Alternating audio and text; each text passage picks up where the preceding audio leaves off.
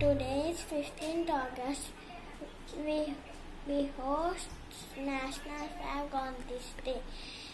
We sing National Anthem Jana This year we are celebrating 75th Independence Day. Let's be proud to, to be Indians. Happy Independence Day. Thank you,